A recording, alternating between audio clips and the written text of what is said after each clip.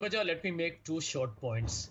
Firstly, on the dynasty argument that my friend Rashid has mentioned, it's true that the Congress has a lot of people who belong to well known political families. But the BJP actually beats the Congress when you look at the numbers. I just need to put that in perspective. The BJP has roughly 12% of its Rajya Sabha and Lok Sabha MPs who are from dynastic families around 45 to 48 MPs. So the BJP definitely cannot lecture the Congress. In fact, they are higher in number than the Congress is. So that's a one hard truth, a mathematically accurate description. Point number two, I'm going to agree with you that the Congress is fighting with its back against the wall. Hmm. It is a formidable challenge. Nobody can deny that. The Congress has a lot of catching up to do, but this is an Indian election. I can tell you anybody who's forecasting it, including Narendra Modi, keeps saying 370, blah, blah, blah.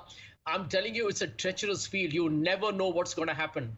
A lot of the states, you look at what happened in Haryana today, uh, Padmaja. Hmm. Haryana is a public admission by the Bharatiya Janata Party that it's on the verge of a collapse in Haryana. And I've been hearing it for the last nine months. I have friends in Haryana who have been telling me that the Congress will probably be in the front or will should win the assembly elections after the Lok Sabha. So I think there is a lot of political fluidity. My short Fair, point is I agree with you. There's political fluidity. My question is my question is I am your booth worker.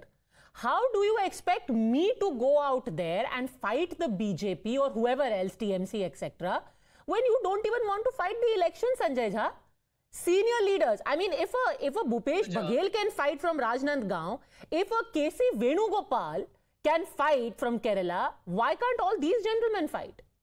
I mean, how can Arvinder Singh Lovely, who's the state president in Delhi, be asked to fight and he says, I want to campaign, I don't want to fight? Let, let me put it across like this. It is a tough choice. I'll tell you why.